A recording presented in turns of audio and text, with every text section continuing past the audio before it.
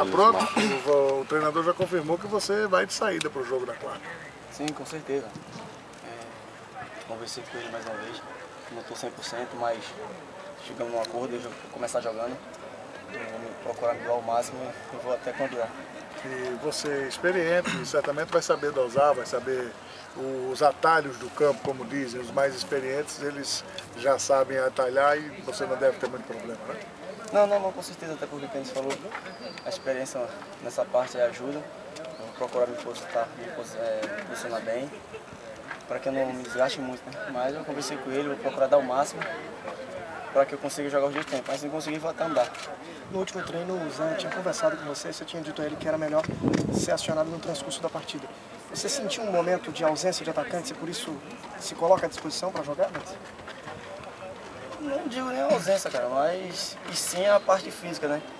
Como eu falei, nós conversamos é, e principalmente agora, você falou que a da ausência de atacante, mas o meu caso não é esse, e sim é, a minha parte física. E já me creio, creio eu que já tenho condição de jogar um tempo, e segundo tempo eu vou ver até quando dá. Aliás, o fisiologista conversava comigo e dizia que se você entrar de início, isso também deve ajudar bastante para o teu recondicionamento. Foi isso também que pesou? Sim, sim, com certeza. Mas agora é procurar jogar, é, começando jogando não, isso aí quem vai saber é o professor. E com o decorrer dos jogos aí vou conseguindo chegar no meu, no meu 100%. Denis, aqui você falou de atalho, de experiência, de parte física. Agora o Porto é uma equipe jovem. Os meninos vão correr pra caramba, vão querer o resultado vai ter a hora que o Denis tem que correr dobrar também.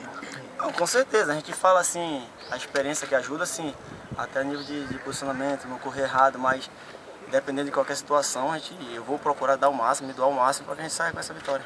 Não correr errado, a expressão que se usa no futebol. E que o Santos tem que fazer quarto para não correr errado dentro do Porto? É ter calma, tranquilidade, que nem o professor cobra bastante, tocava bastante a bola, entendeu? Esperar a hora certa e as horas que, que aparecer as oportunidades a gente tem que matar o jogo. Denis, você já falou que não lembra o último jogo que você fez, mas o último gol você lembra, né? Lembro, lembro. O último gol, lembro, foi contra o São Paulo, pelo Brasileiro. Como é que foi esse gol? Ah, uma bola que, eu me esqueci, é, me recordo o nome dele agora, que meteram para mim do meio campo, eu dei uma arrancada e daí o, na saída do Rogério bati no canto esquerdo dele. Doido para fazer mais um, né? Começar a fazer de novo, né? Com certeza, espero, é, espero que eu estreie bem. É, consiga a vitória e que, que eu faça as duas. Denise, ainda há indefinição nas duas posições do ataque, porque o Carlinhos Bala pode também não jogar.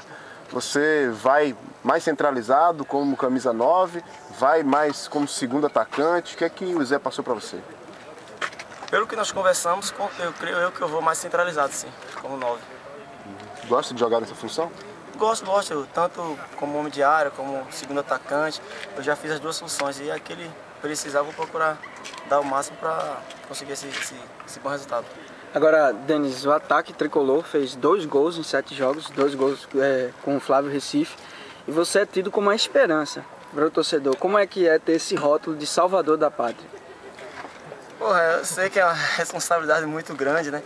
Mas eu tô tranquilo, eu tô consciente. Eu espero estrear, estrear bem, fazer gol, entendeu? É, fazendo gol não, eu quero, é, o mais importante de tudo é a vitória. E se a gente conseguir a vitória fazendo gol, melhor ainda. Já que você é o grande atrativo desse jogo, né, por assim dizer, você poderia convocar o torcedor, uma redundância até, chamar o torcedor para ver o Arruda na quarta? A torcida do, do, Santa Cruz todo mundo já conhece, né, cara? A torcida forte que, que acompanha o time, dependendo do, do local. E com certeza, nesse jogo de quarta-feira vai, vai estar todo mundo presente, sim, com certeza. Tá com saudade de jogar, Dente? Oh, isso aí, você não tem a dúvida. Você não tem a dúvida. A partir do momento que eu entrar em campo, eu vou sentir um, o prazer novamente, aquele prazer gostoso que é jogar futebol.